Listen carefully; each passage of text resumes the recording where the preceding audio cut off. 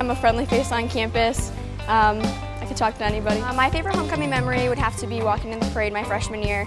Um, we spent the whole week building the float and then actually walking alongside of it was really cool. Favorite element of homecoming is, since I am in an organization, getting to know another organization, maybe that we don't necessarily hang, hang out with or talk to all the time, but really getting to make those connections throughout the week.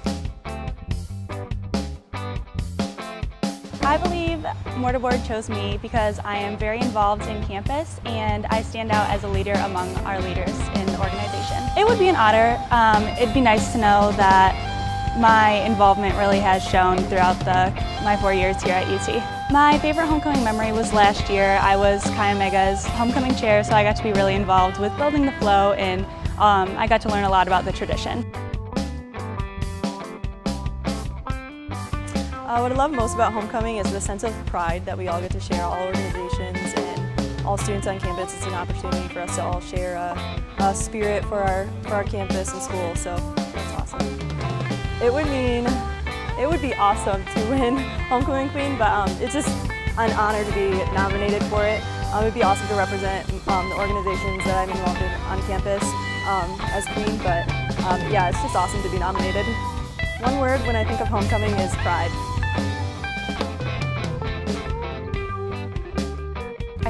Sets me apart is definitely um, my perseverance.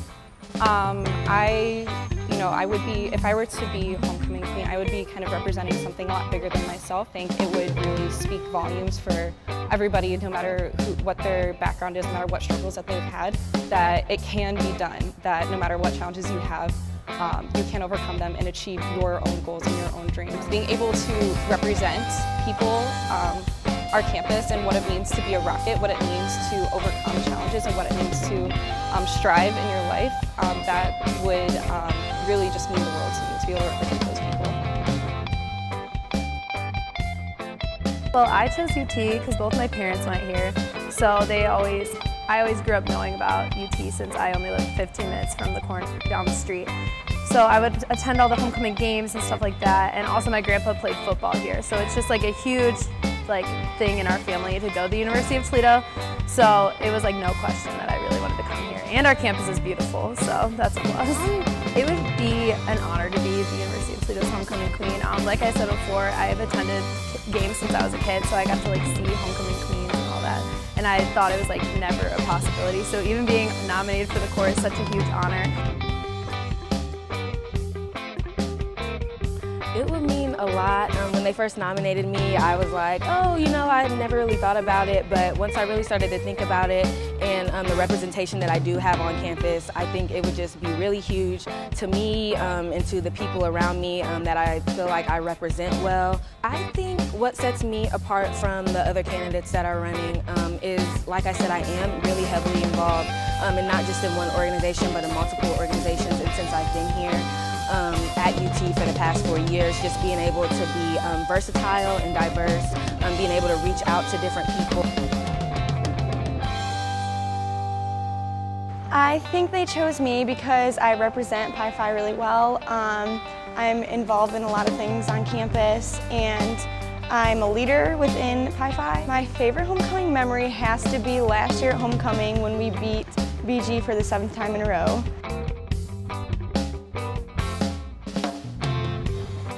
I think they chose me because this is an organization I've been involved in since my sophomore year and I'm actually the president um, of it this year so I'm really trying to make it a better organization.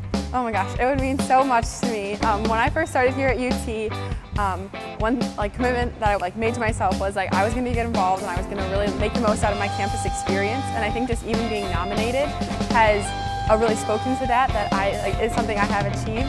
Um, I know high school me would like not even fathom being nominated for Homecoming Queens. Uh, to be homecoming queen of the University of Toledo would honestly be like I think the highest form of honor that you can get here because you're representing a great campus and it's just like we're such a diverse campus and I think to be like the queen of something like that would mean so much more to me than many other people because I'm from Toledo and I truly believe in like the 419 base thing and making our community so much better. I think that like what sets me aside from people is even if I don't win, it's just I know that even being nominated was good enough for me because people think that highly I think that they chose me out of everyone. Um, well, I do currently serve as their president, and I think that I am someone that all the people in the chapter can definitely look up to um, based on all of my involvement in other organizations on campus. I chose UT because it kind of runs in my family. My dad and my sister both went here, um, and I'm kind of close. Um, I went to high school around here, so I definitely came here to kind of have that same aspect of my dad and my sister both love the university as well.